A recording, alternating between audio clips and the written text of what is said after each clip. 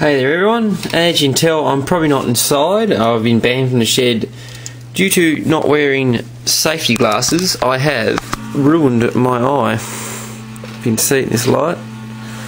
Mm.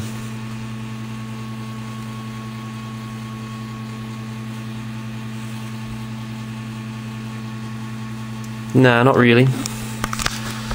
Um, but yeah, so I've been inside all day. And after much fiddling, I've worked out how to fix these old phones that I also collect. I've got a couple here. This one's for Alex, this is the one I'm doing the video on. Um, but there's an old black one up there, that works, I brought that working.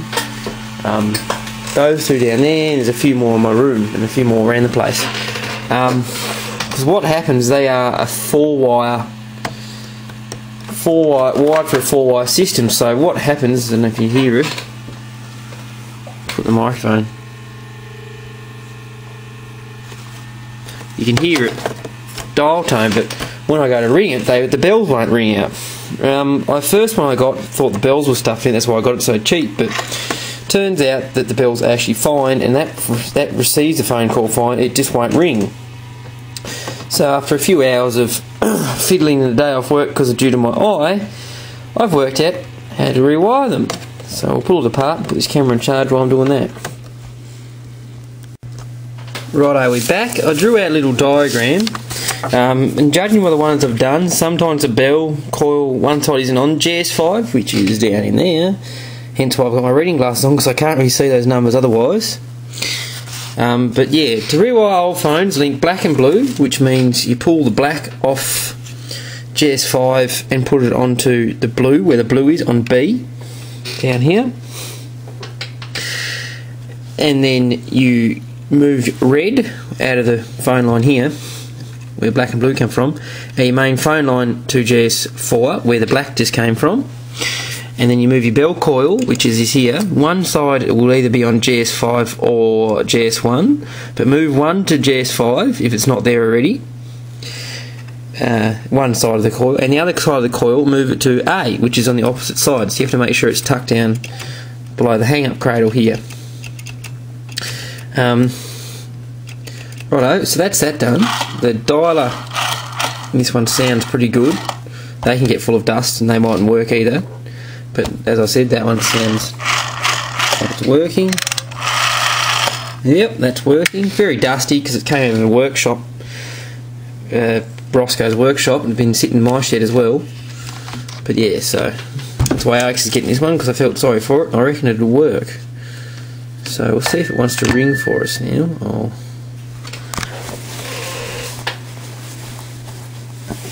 that down there. Be able to hold my phone out.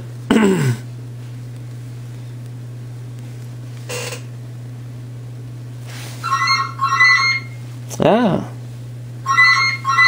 Bells aren't working. I've done something wrong.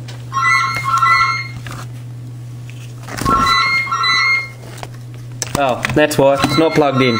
We'll try again. Hang on, it's fan about to go flat, so camera's about to go flat, so I'll put it back on the charger and I'll plug it in. Righto, we'll uh, try that again. I'll make sure that that's on its cradle, so that's down. That's normally through the case, and we'll give it a call again.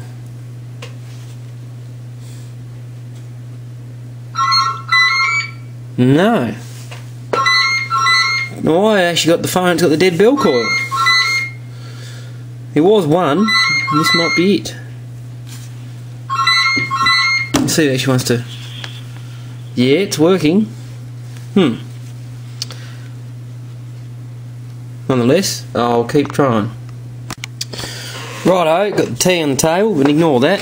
Um, this is the green phone I had sitting on the bench. Um, this one's pretty much brand new condition. I got lucky with this one. Uh, I've made it actually out of three bits of other phones. The case, the, the hand is off another one, the case is off another one, and the dials out of another one again. So it was a bit of a bit to make up a nice green phone. This one's a bit more special because it's no the that there was off another one, that was off another one, and the case is off another one because this one here's actually got a key and it goes in the lock on the front. And what you do with this one is to lock STD or only make calls in or out. So it's got to have the key in to make calls out, um, which is really good for here because little brother had a habit of using the phone. So all we have to do is take that out and pull it away. There is another phone in the lounge room, a black one of these with the key in it, and that's with that's my phone, and this oh this one's my phone, and the one in the lounge room is Mum's phone. So little brother doesn't get to use the phone line that way. We do have the cordless ones, but they don't work. So anyway, the one I missed, I had to pull off and check because I didn't write it down. The wire I missed was to move this little link cable between CGS4 to there. So I've added the list. I might add this list to the description underneath the video in case wants to help someone try and fix one of these phones. So it's move grey, grey to link C1 to GS4. Um, quite done that yet in here. I don't have pliers on me, so let's see how we go. That's it's originally on JS5 to P3, but we'll remove that. Mm, see how we go. Mm, that's off there. Get this end off too. There we are.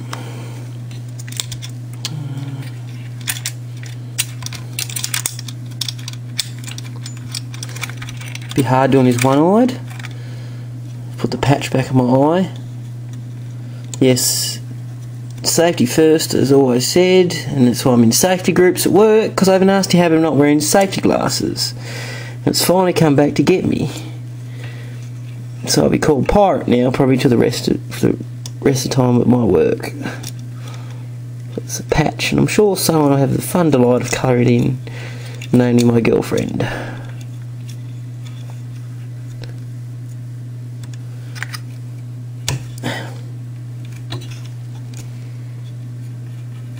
Here we are. It's back on there. We'll try it again, eh? Put that back on there to hold it down. We'll plug it in this time so it don't make me look like a complete fool. Obviously, I live in a more modern house, so I don't have the 610 fitting or more the original standard fitting. Just trying to do this one handed. As you can see, it's meant for four wires, hence or we can use up to six wires in these.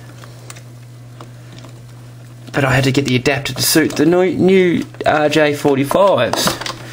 It's in there. Righto, where's my phone gone? Over here. We'll try and see if it rings now.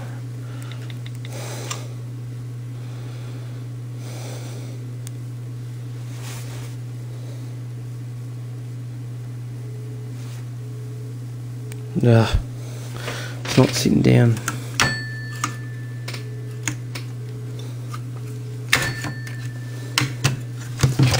Ah, hang on, see, we'll put this down to hold that down, call back.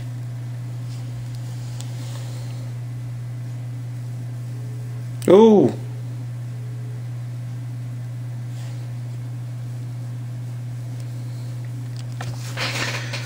I've done something it doesn't like. Um, unless I've plugged the wrong phone in. No, I've plugged the wrong bloody phone in.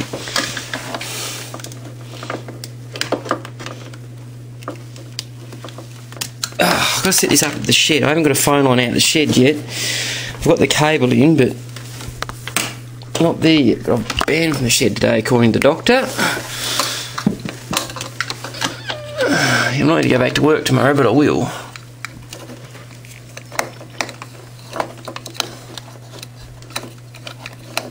Oh, come on. Sorry about these people.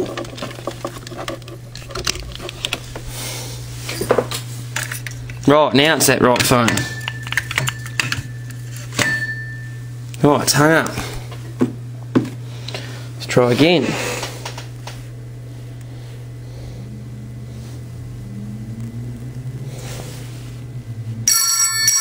Yay, we have success. So there you are. That's how you rewire a phone. get a sore eye and eat your dinner on a Monday night. Um, I'll quickly show you. Some, this is, I think, yeah, these are what they call 802 model phones. Oh, I can put that back down in case someone calls. 802 model phones. Um, come various types, like these ones have got. This one's a plain one and there's different colours. Yeah, this one's a plain one, doesn't have a key on it. This one's a green one, has a key on it. That one down there with the numbers on the outside is a 601. And they're older, they're from the 60s to the 70s. These are from the 70s to the 80s. That's another black one for key on it. That one doesn't ring. I think that one has a dead bell in it from memory. And this one up here is a 400 series. It's the older Bakelite model from the 50s, um, 40s to 50s. Um, this one's already been refurbished. Just needs a clean. I haven't done that one. That's the one that sort of helped me do these ones. But converting from that phone to these phones is quite difficult because they are very different inside. I'm not pulling this phone apart again because it's I don't want to crack the Bakelite casing. Um, but yeah.